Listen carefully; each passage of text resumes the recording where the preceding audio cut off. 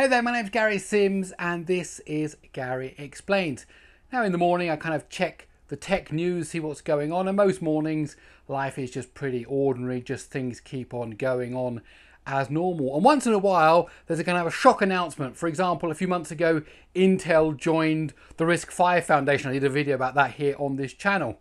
And now when I've read the morning news, I see that NVIDIA has released an open source driver for its GPUs for Linux. Well, if you want to find out more, please let me explain.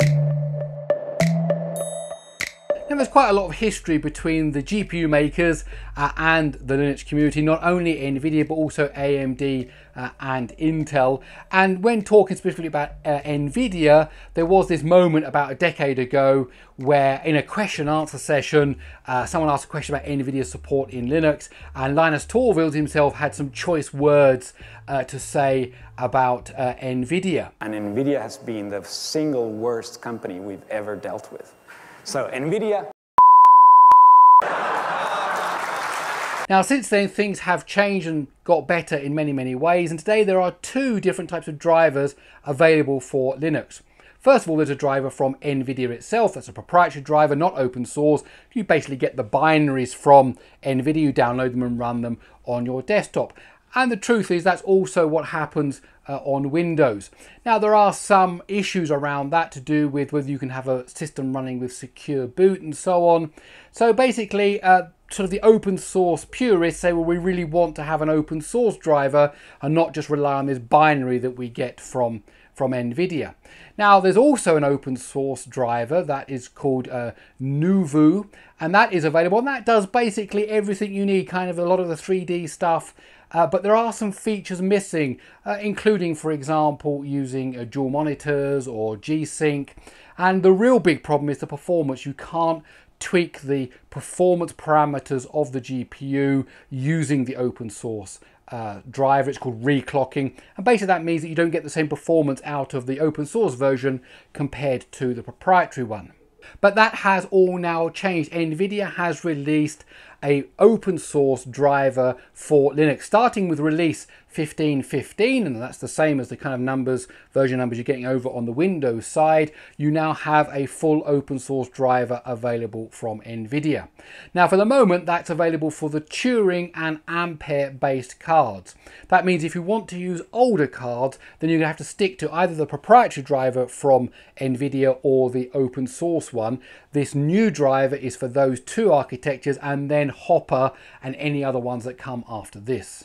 It's also worth mentioning this will be released under a dual license, so it's GPL and uh, the MIT, and that's so that parts that have to touch the Linux kernel, come in direct contact with it, can be released under the GPL, so there's going to be no question on whether there's any kind of mixing of licenses that are compatible. Uh, they've taken a good approach to that so that the kernel stuff can remain pure for those open source purists out there. Now this version that comes out today is production ready for people that are using GPUs in the data center.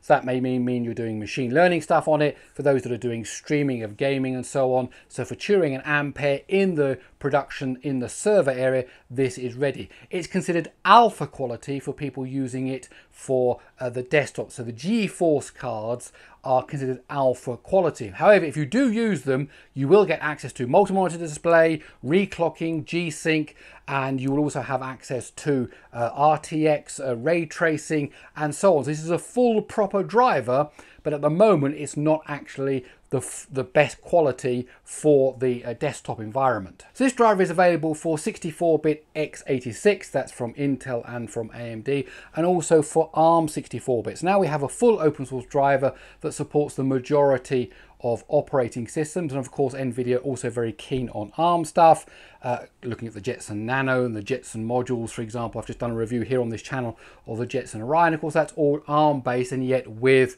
the high-end GPUs included inside of them. In the future, we are going to see more work done. Maybe there's going to be the merging between the current open source driver and the NVIDIA one and to see whether they kind of get this new kind of combined driver that can do both things because all the technology you need for example for reclocking uh, is available now in that open source driver and the existing people can have a look at it. Now there's one minor problem and that is that the way the code is released at the moment is not ready for just integrating directly into the Linux kernel. It's not, you can't upstream it into the Linux kernel.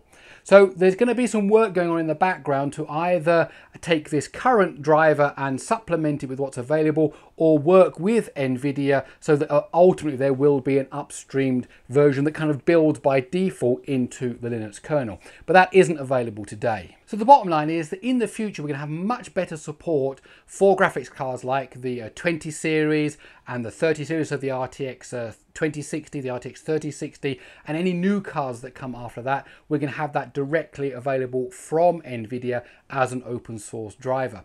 And NVIDIA are committing to the fact that this is their main way now of supporting Linux. So they're not going to be producing the proprietary driver more and more for Linux and then have this is now their main way. And that's really great news because now it really means that at the end of the day, maybe towards end of this year, the out-of-box experience for AMD and for NVIDIA and for Intel graphics is going to be the same across the board, which hopefully means that you can now be able to install Linux on a desktop regardless of the GPU that you've chosen and get good support for every single type of graphics card that is in the mainstream.